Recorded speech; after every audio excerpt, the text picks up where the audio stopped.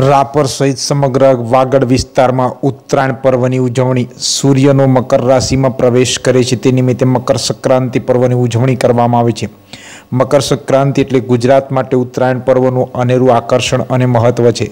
ઉત્તરાયણ મનાવવા માટે સૌ કોઈ બલવૃદ્ધ પતંગો ચગાવી મકાનના ધાબા પર સંગીતના સથવારે એ કાપીઓના ગગનબીદી નારા લગાવી તલ મગફળી ખજૂરની ચીક્કી તેમજ ગરમા ગરમ ઊંધિયાની જયાફત માણે છે તો સવારે મંદિરમાં દર્શન કરી ગાયોને ઘાસચારોને દાન પુણ્ય કરી ઉજવણી કરે છે તે રીતે આજે વાગડ વિસ્તારના મુખ્ય મથક રાપર ઉપરાંત આડેસરી ભીમાસર ચિત્રોડ બાલસર પલાસવા સહિતના ગામોમાં ઉત્તરાયણની ઉજવણી કરવામાં આવી હતી વન વિભાગની વિસ્તરણ રેન્જ દ્વારા કરુણા અભિયાન અંતર્ગત આ એફઓઆર કે પરમાર નવડપણ હેઠળ ઘાયલ પક્ષીઓ માટે મોબાઈલ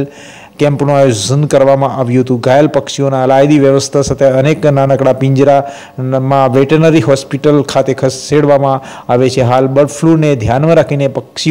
પક્ષીઓને વેટરનરી ઓફિસર તપાસ કરી ઘાયલ પક્ષીઓની સારવાર કરવામાં આવી રહી છે વન વિભાગના રાપર તાલુકાના તમામ કર્મચારીઓને કરુણા અભિયાન માટે ખડેપગે તૈયારીઓ સાથે રાખવામાં આવ્યા છે આમ વાગડ વિસ્તારમાં ઉત્તરાયણ પર્વની ધામધૂમપૂર્વક ઉજવણી કરવામાં આવી છે સૂર્યનું મકર રાશિમાં પ્રવેશ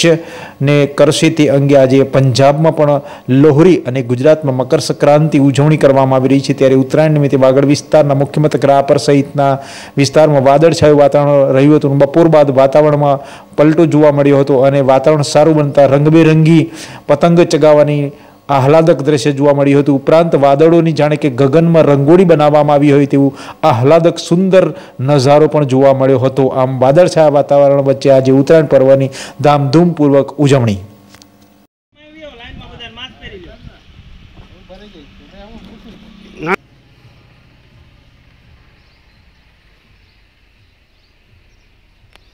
હજી આજે ઉત્તરાયણ નિમિત્તે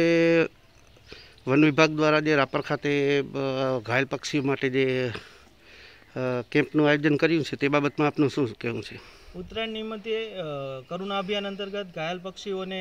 માટે અમે અહીંયા કલેક્શન કેમ્પ રાખેલો છે. કોઈ પણ અમને ઓનલાઈન માહિતી આવે અથવા તો અમારા કલો- સેન્ટર નંબર ઉપરથી અમને કોલ આવે, તો અમે તરત જ એ પક્ષીનું અમારી વન વિભાગની ગાડી દ્વારા રેસ્ક્યુ કરી અને અમે સરકારી હોસ્પિટલ અથવા તો પાંજરાપળ હોસ્પિટલને ઘાયલ પક્ષીને ચારવાર અર્થે પોસ્ટ કરીએ છીએ અમારા સ્ટાફ દ્વારા.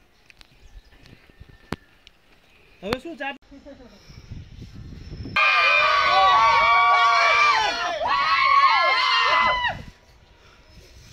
આવી ગયો હાલો.